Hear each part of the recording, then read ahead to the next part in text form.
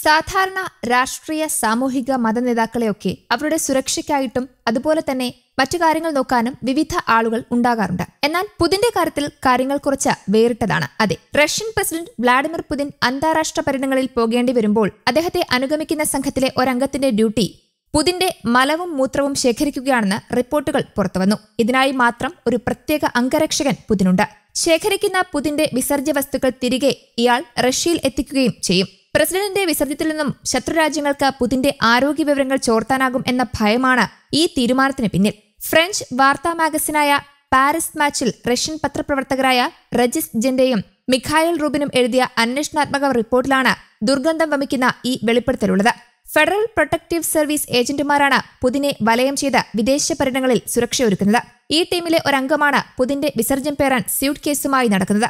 രണ്ടായിരത്തി പത്തൊൻപതിൽ പുതിന്റെ സൗദി സന്ദർശനം മുതൽക്കുള്ള യാത്രകളിൽ നിന്നുമാണ് തെളിവുകൾ കണ്ടെത്തിയത്. ഫ്രാൻസിൽ സന്ദർശനം നടത്തുമ്പോഴും അംഗരക്ഷകൻ പുതിനെ ടോയ്ലറ്റിലേക്ക് കൊണ്ടുപോയിരുന്നു.